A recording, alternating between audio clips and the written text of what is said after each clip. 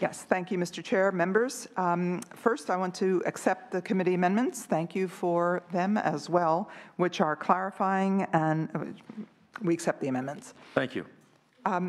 One of the positive results, if one can speak about a positive result about a drought uh, for the last five years, is that we really do recognize the importance uh, to our statewide water supply of groundwater and how we need to protect it. Um, We put forward uh, the Ground uh, Sustainable Groundwater and Management Act of 2014 under the leadership of uh, Senator Pavley. Um, SGMA has a major gap in it, very important piece of legislation, but a major gap. As good as it is, um, it will take um, until 2042 uh, to bring certain, to bring basins into um, balance. That is, as much water goes in as comes out, uh, and are, we will be sustainable. But meanwhile, what is happening is uh, many new wells are being dug all over California at an alarming rate um, uh, some deliberately before SGMA gets going, uh, with very little supervision by the counties who control the permitting, uh, the boards of supervisors. And this is the chart to just show you what's happening, and I'm sure it's gotten worse as we go out past 2014, now that For those of us with bad eyes, can you explain what that means? It means that since, these are, these are counties from Amador, Glenn, Sierra, Yolo, San Joaquin, Fresno, um, where this was the uh, well permits being issued by the county, and this is what's happened just since the drought. And it's continued. So instead of having um, 200 permits in the ground, and that's minimal, you would now have an incredible increase of new demands on limited groundwater. So that's the issue. Um, Currently, counties um, have the responsibility and the authority uh, to issue well drilling permits. Um, However, well drilling permits, historically and currently, are pretty easy to obtain. They're mostly ministerial, they're over the counter. Um, There is not very much analysis that is done uh, prior to the issuance of a permit. No analysis of the impact on the groundwater basin, whether there is water there sufficient for new demands on that particular area. That's business as usual, and we want to stop business as usual. Um, That's what this bill's about. So specifically, 1317 will require cities and counties that overlie the high, the serious ones, the high and medium priority groundwater basins, as identified by DWR, to perform an analysis of a proposed well to ensure that no pump will create, no well will create further harm, that there is water there. Under 1317, no new drilling, drilling permits may be issued for the 21 critically overdrafted basins that currently exist um, until the county has a well ordinance that governs this in place. So it respects local control, but it also says if you have a problem with putting straws in the ground and making sure you get water out, don't make it worse by putting more straws in the ground until you know the groundwater basin can handle it. Now, some counties have already acted. Um, San Luis Obispo, uh, Obispo, Merced, Stanislaus. Glenn and Colusa have put moratoria in effect, which was pretty brave, frankly. Um, And the others have adopted policies, and others are considering policy, and we support that. We want the local community, the local Board of Supervisors to exercise um, um, control over their groundwater basins that are high and medium priority or critically overdrafted. Um, We support their doing that. We want them all to do that. Um, So with me today is Jay Ziegler from the Nature Conservancy and Debbie Orrs with the Community Water Center uh, to speak to this issue. Oh, uh, the bill talks about a conditional use permit. Um, In our meetings, uh, and I have said this publicly and privately, it doesn't have to be a conditional use permit. I recognize, most people, people understand what that is, it's pretty clear. What I'm interested in is a, that the Board of Supervisors, no more ministerial sign, you know, signing of a permit over the desk in the Planning Department or the Public Works Department. There has to be a consideration of the condition of the groundwater before you, before you allow in the Board of Supervisors a new well another straw, another 10 straws to be put into uh, the ground. This will not affect existing wells, replacement wells, or those that are de minimis in size. This, these are about, this is about wells that change the water balance in the county. So with my, with that, I ask for your aye vote. Senator Wolk, thank you. Uh, Mr. Chair, and members of the committee, Jay Ziegler with the Nature Conservancy. Um, on behalf of our 100,000 members uh, in California, uh, as you know, we're a science-based organization. There are several reasons why uh, we're here in support of this legislation as an important complement to the implementation of SGMA in California. First, uh, we are running a chronic water deficit in, in California. Uh, the U.S. Geological Survey, Caltech, other um, noted academic authorities estimate we are running, we are emptying our aquifers at a pace of one to two million acre feet a year. Um, and we're not recovering uh, that uh, aquifer capacity. Second, uh, if you go to the Department case against a what total number? What percentages of that? I'm told there's 800 million acre feet in the Central Valley. How much, what do we have? When you use that number, it's only relevant to determine what it's related to. Well, it's a, you know, you're roughly taking 1 to 3% of your overall capacity in groundwater uh, you know, out of the system as, as we see uh, aquifers become compressed. So it's an incremental change, but it's a significant change over time. Oh, it's a big number. I, am not questioning it. I just wanted to know the data. 1 to 3%, you're talking about 100 million to 30 million. I mean, I think those are small numbers. I, I think take it, I think it's a smart bill, it has a lot of intelligence to it because we've got to change the game. I just trying to get a handle on what the context is. Yeah.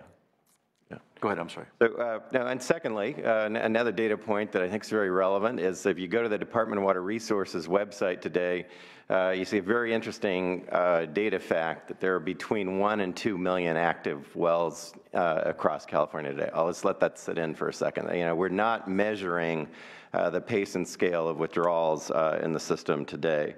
Um, second, as Senator, finally, uh, Senator Wolk's notes, the pace of permitting uh, continues to be uh, uh rampant uh, across the state, that we see people actively developing wells without regard to a long-term water budget um, in, in their place of location for those wells. Um, and we can't rely on SGMA alone. As Senator Wolk noted, it will be 2042 uh, when SGMA is fully implemented. Uh, and uh, if, if we continue on this schedule, we will see uh, systematic depletion of aquifers throughout the state, including the separation of groundwater and surface water resources that won't be recoverable uh, uh in the future. And so we're doing direct harm to farmers, to uh, uh, urban water supply, to, and certainly to the environment. Um, and uh, so we are here uh, that we, in, in support of this legislation. We think it's an important complement to effective implementation of the Sustainable Groundwater Management Act. Uh, it protects local control. It recognizes that uh, SGMA is a ground-up approach. Uh, this legislation is very consistent with that, protects local authority to manage local supplies, to protect water supplies for people, agriculture, and the environment, and uh, we, we are enthusiastically in support of the bill. I know you're just talking, but just ask you a question because I want you to think about this because it's, you know, we pass these things and they all sound good in silos, but there's unintended consequences. We're telling farmers in the Central Valley they can't have water coming through the Delta because we've got environmental challenges with respect to fish getting caught into nets. We have huge economic impacts on these farmers and the farm workers because they've got no water coming in. They haven't had any deliveries for a little bit here, a little bit there, but there were times a year they get no deliveries. So they're shut out. So what they're doing is, and I get it, they're, they're, to the extent they can grow anything, they're relying on groundwater. And then you have marry that with the drought, and they're taking, sticking too many straws in the ground, and there's a problem. So I don't disagree for one second about the nature of the problem and that we have to monitor it and the like. But again, this goes back to the larger dynamic of how we deal with public policy in silos, because if you're going to have this problem, uh, human beings got to eat, right? We got to grow the food. Now, then we've got the beneficial use law on the water world. Where do we waste water? And we can't outline canals, and we can't use drip irrigation. And we've got all these just wildly conflicting points of view. And all I'm just saying, suggesting, you know, you know, the issue of environmental water and all these other challenges we try to solve. Um, And I, I don't do anything other than, because like, we can't solve those problems, but I think in these kinds of legislative debates or discussions, to issue spot as we should be thinking about this. You know, we, we in this committee don't deal with governance in the larger structure. It overlaps in certain contexts. And so I'm trying to continue to paint the large frame about this. And there's no question this is important and has huge consequences. But I just think there's huge unintended consequences if we don't think about it holistically. Again, I, I don't need a big response. You're a big thinker on this. This is a really important area. I want you to put this into your crock pot and part of the cookout. Yeah, Thank you, Mr. please. Uh, Good morning again. Again, my name is Debbie Orrs. I'm with Community Water Center.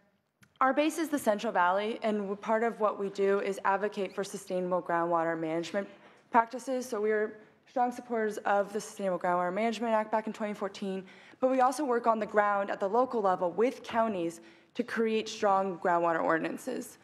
Um, For over a year now, I've been working with Tulare County on creating a well and a groundwater ordinance. I've helped with promoting Fresno to create a groundwater ordinance, and I've created materials for local leaders when they advocate within their own counties and jurisdictions for groundwater ordinances. Um, part of the problem is, you know, people's wells are going dry. So individual, hundreds of communities throughout the state who rely on private wells, their wells are going dry when irrigation wells down the street are pumping at very high capacities and are much deeper. Um, to kind of go to when, the question you just had, replacement wells are exempted from this. So if your well as a farmer goes dry, you can drill a new well. It's a replacement well. It's that added capacity, that added um, demand on the system that needs to be checked. Um, in Tulare County, for example, your well permit is within 24 hours, your, your permit is accepted. There's over a year wait for domestic wells. So if you're an individual and your well goes dry, you have to live for a year or more sur- surviving on bottled water or tanked water. Imagine showering with bottled water. Like that's what's left, these people are left to deal with. Um, so that's, and we support local control. Um, as I said, I've worked with counties on this, um, but no control is not an option. There's been massive delays that has caused subsidence and lack of, uh, lack of water supplies. Um, the state has tried to entice counties. There was Prop 1 money um, allocated earlier this year through D- D- uh, Department of Water Resources to create groundwater plans. Six counties in the state took up that money, three of which already had good groundwater ordinances Merced, Stanislaus, and Colusa. The other three, including Fresno, have backed off from their plans. Um, so, as I said, this bill promotes uh, local control. Counties can still implement their own ordinances to avoid the provisions of this bill, um, but what it does is provide that backs up for areas that continue to not act. Thank you so much. Others in support?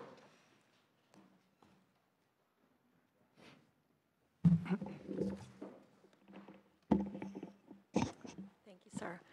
Julie Snyder, representing the Planning and Conservation League in strong support. Thank you. Thank you so much for being here. Kelly Doe on behalf of California League Conservation Voters in Support, and also Me Too for Sierra Club. Thank you, thank you. Good morning, Adam Cochen with the California Climate and Agriculture Network. We're a coalition of sustainable agriculture organizations and farmer member groups in support. Thank you. Any opposition? I also add a Me Too for Clean Water Action and Leadership Council for Justice and Accountability. Of course. Any opposition?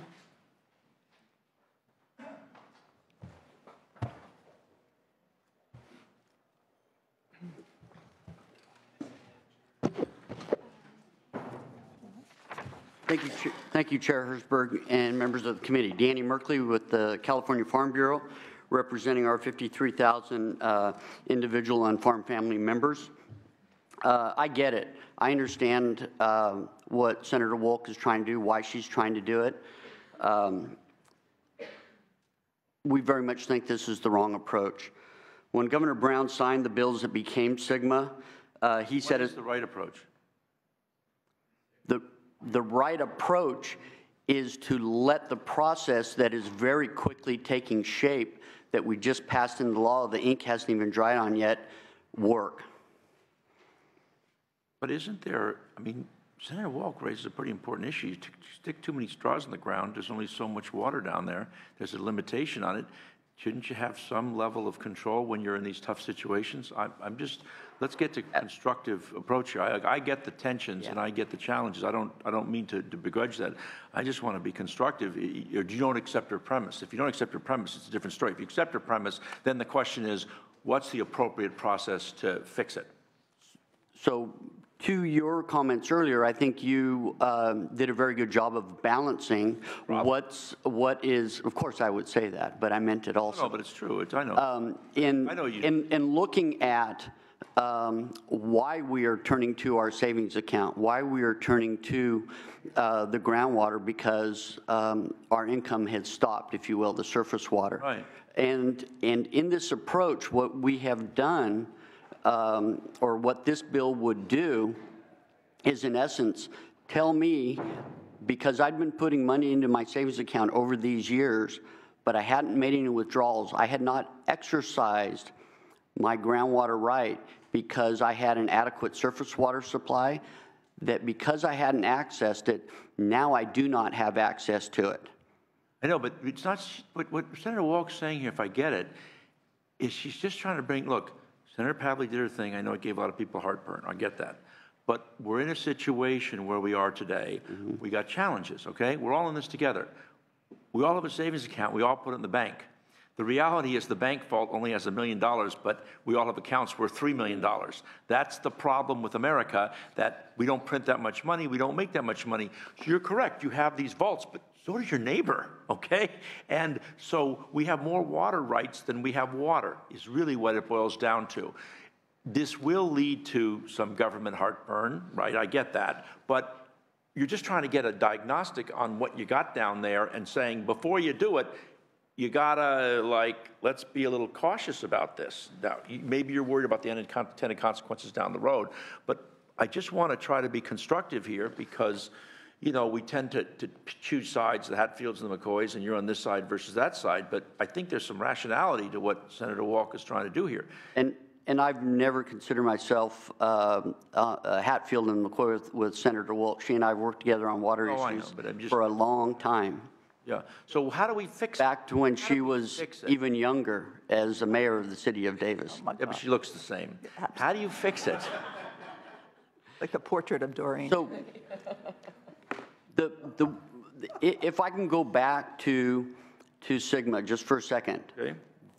That is, and let, let me just be real clear. We were very much opposed to SGMA because of the complexity of the issue and the pace at which it was moving through the process. I understand why. It was an opportunity you need to grab a hold of it. The challenge here is that now we're starting to see some of the unintended consequences from pushing through a very complex issue that is not understood by many um, in a very short time period.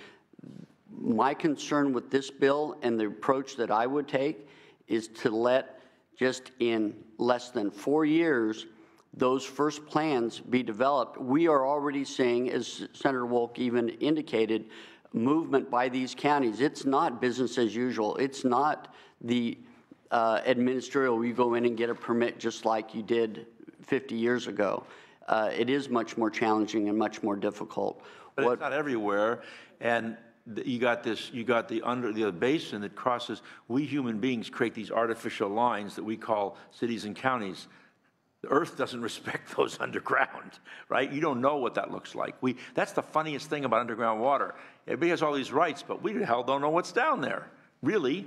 Well, know? and, and in less than four years, we will, that will be changed No, because but at the rate at does which you're, draw- at the rate at which you're sticking stars in the ground, you may have a big problem. It may not last out four years. At least this, this gives a planning tool to figure out, look, I get the indigestion, but it does give a planning tool to the process, no? So that you can at least, if, what happens if it turns out in four years, you've got this great plan, but you ain't got no water? You know, that's what Senator Wolk's doing here.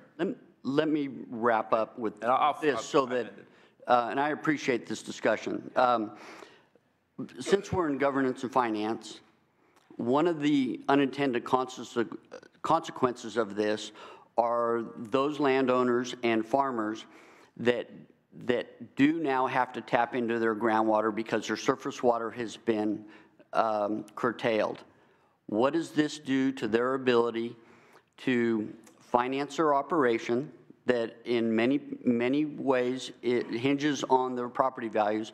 What does it do uh, to their ability to pay their mortgage? What does it do to local government's tax rolls when those property values have been chopped to whatever level they will be chopped? Because now all of a sudden, the bank says, that property is not worth what we thought it was, because you no longer have access to that savings account you thought you had underneath it. That's the, the impact that I would like this committee to think about and Senator Wolk to, to think about a little bit. Thank you. Can I just uh, throw one comment out for food for thought is, you make that point, it reminds me of The Big Short, because everybody's assuming values on what they don't know they have. What Senator Walker's doing is proving up the values, which may prove that you're right, that you have a savings account, or may prove that you don't have a savings account. And we're all out here living on the fact and representing to the financial industry, which I get it, that we have savings accounts. We have the rights, but it may not be there. But i- i- again, I, I'm trying to be constructive here to throw this stuff mm-hmm. out for food for thought. Yes. Yes, sir, Mr. Chair, members. My name is Mary Ann Warmerdam. I'm with the Rural Counties Association, and we have concerns with respect to the process. We do appreciate and are sympathetic to Senator Wolk's concerns. We share those concerns. Many of our counties, has already been articulated, are stepping up to the, to the plate. The particular approach that is embedded in SB 1317 for us is a um, more of a process concern, if you will. Uh, we are in the midst of developing our plans and the data to support those plans under SGMA. And a concern is that this will divert both human and financial resources away from that very important exercise. We're looking at 2020 and 2022 as very hard deadlines for us to meet our obligation as partners in groundwater sustainability agencies. And the other somewhat complicating component for us is that the data that we will be relying upon as counties for making some of these, these determinations are coming from our partners in the water agency community. So there's a lot of moving parts, as you've noted, Mr. Chair, that we're trying to get our arms around. And from our perspective, 1317, the conditional use permit, as a project under CEQA, is, an, is a complication and we're looking for more of a uh, surgical approach. said She, she expressed uh, uh, flexibility. I think what caught my attention in particular is not to get caught up in the words and what those mean, because they all have meanings in the development world and the land use world. But the notion is that no more free permits, so you got to at least have some level of understanding of what's going on. I mean, I think that's the essence of what our emeritus is doing here. Others in And if I might, Yeah, please. with, with that, we are committed to working with Senator Good. Wolk and her She's a staff. reasonable in author. Finding a, a uh, path forward. Yes. Chairman, members, Karen Keene on behalf of the California State Association of Counties. We share the same concerns expressed by the rural county representative. We would also like to see the SGMA process move forward without additional requirements being inv- uh, imposed in advance of the SGMA planning process. Thank you so much for being here. Thank you. Mr. Chairman, other members, Paul Yoder, Shaw Yoder, Antwi, here today on four of our county clients, Sacramento, San Joaquin, Merced, and Kern. We understand the center is going to convene a work, working group, and I look forward to participating in that. Good. Thank you. Good, good, good. Thank you. Mr. Chair, members, Ryan League, California Cities, and yes, unfortunately, we are opposed to this measure. We do share the concerns of our county counterparts, and we would like to work with you in the working group. Hopefully, there's a path forward on this one. Thank you. Thank you so much. Dennis Albiani on behalf of California Grain and Feed Association, California Wheat Farmers Seed Association. We have, I would like to challenge the premise that you brought that there is no understanding of what's underneath the ground. Obviously, there is. DWR has identified the, the various uh, uh, reservoirs and then has, you know, done a balance on, on where we are. If it wasn't, you wouldn't know whether there was an unintended result or not. This planning process is a comprehensive planning process in SGMA. This bill is not comprehensive. It is a, it is operating with a chainsaw. You cannot move forward.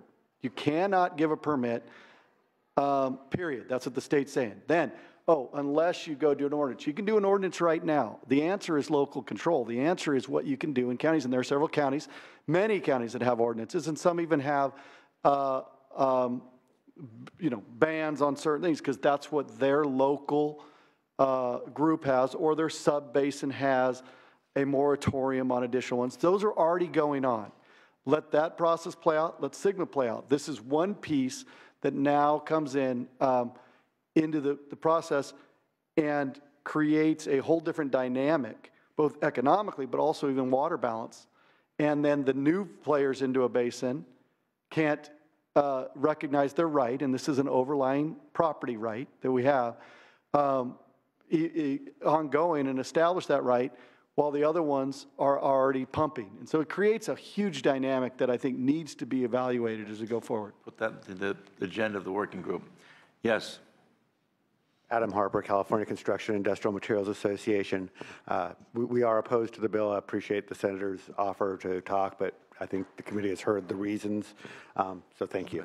perfect. We'll, clo- we need you, to- yes. Good morning, Mr. Chair and members. Tricia Geringer with Agricultural Council of California. With respect to the senator, um, we are also a part of the stakeholder process. We do remain in opposition to the bill. Thank you so much. Good morning, Lauren Nolan Hajik on behalf of Western Ag Processors Association, California Citrus Mutual, California Fresh Fruit Association, California Cotton Ginners and Growers Association, Nisei Farmers League, and Western Plant Health Association. We are opposed to the bill. We're concerned on what this does to the Sustainable Groundwater Management Act and what has been moving forward so far, and with DWR's current regulations that are being heard in front of the Water Commission today. And Further, we're concerned with the timelines in the bill because the conditional permit has to be based on undesirable results, which will be b- determined by groundwater sustainability agencies in their plans, which won't be till 2020 or 2022. Thank you. Thank you so much. Valerie Nera for the California Chamber of Commerce. We are opposed as well, but appreciate the senator's working group. Thank you so much. Any questions from the uh, members? You you can close. So I, I already asked too many questions as it is. Do you have a question, Senator Lara? commend um, Senator Wolk on this issue. It's completely complicated. Yes. Okay. Uh, Especially given in, in my area where, you know, 80% of, of the water we have is uh, underground. Uh, So this is imperative for us down in LA as well. So I know you'll, you'll find the appropriate balance because I think the concern, some of the concerns are valid. Uh, But I, I, I trust in your judgment. I look forward to supporting this bill and I'd like to move it. Thank you. Bill's been moved by Senator Lara. You may close. First of all, thank you, Mr. Chair and members, for the discussion. Uh, I look forward to working with um, uh, those who are in opposition as well as those who are in support uh, so that we can come up with something that is practical and workable and goes to the heart of the problem. The scope of the bill is deliberately narrow. It has to do with the 21 critically overdrafted basins in California out of 500, thank you, 515. 515 bases, 21. 21 critically overdrafted, so I mean, no water, no drinking. Um, And the 120 that are indicated as um, uh, uh, high or medium of concern, including those that I represent as well. We're trying to limit it. We're, we make, um, there were amendments added, thank you very much, to um, uh, deal with uh, exemptions for uh, public health emergencies, drinking water supplies. Um, uh, This is not about existing wells that need to be replaced. Uh, Anything that's being adjudicated does not fit into this. And uh, just a comment, I wish we could wait until 1240 uh, 2042, to- when we will have a safe yield established for the basins in California. But during the hearings, um, neither the, um, during the oversight hearing, neither the Water Board nor DWR really talked about any kind of corrective actions that might need to be taken. Uh, I think they're looking at the local communities. If we don't, uh, or if the local communities, if the counties don't take um, corrective action, there will be an explosion between now and 2042 of adjudications. And for those of you that have not been through an adjudication, it is a fortune. Oh, It is a fortune, an absolute fortune to do it, and it probably takes two generations, or at least one generation, which is 20 years to get through it. It's not the appropriate approach. I'd like the local control, the counties have the power. I'm asking them to ask the question, is there water for a new well? Before you put the straw on the ground, ask the question. Bring it to the Board of Supervisors. With that, I ask for your aye vote.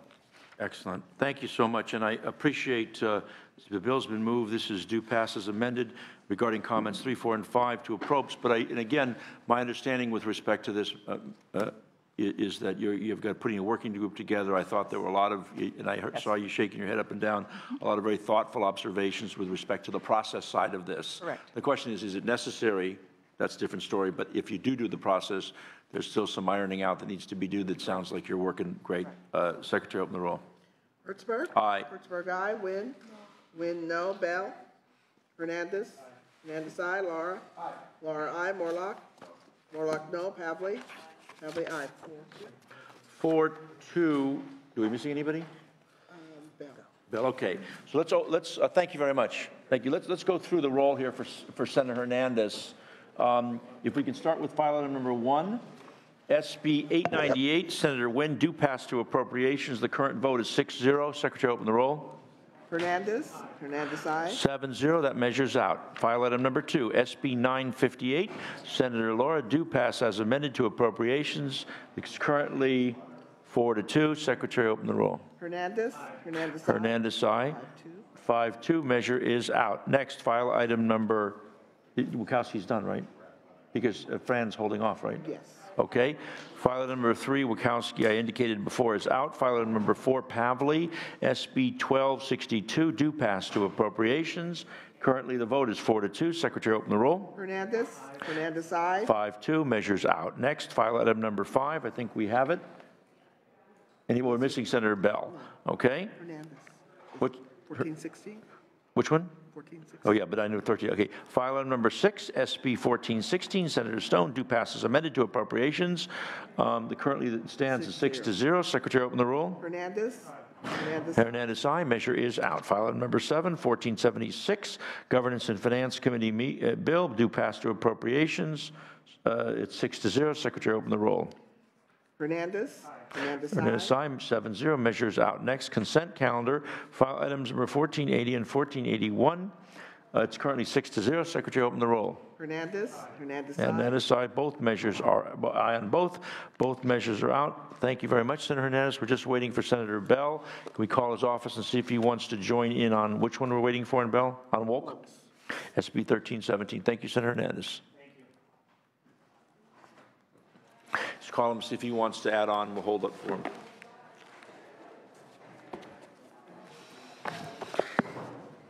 Yeah, I want to just.